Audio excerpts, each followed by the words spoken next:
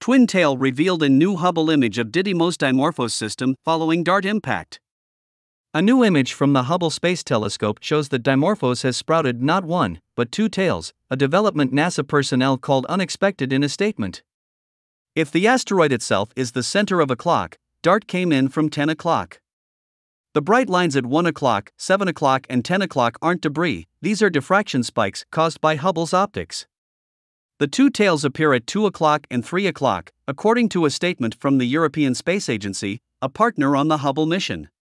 The second tail developed sometime between October 2 and October 8, the NASA statement notes.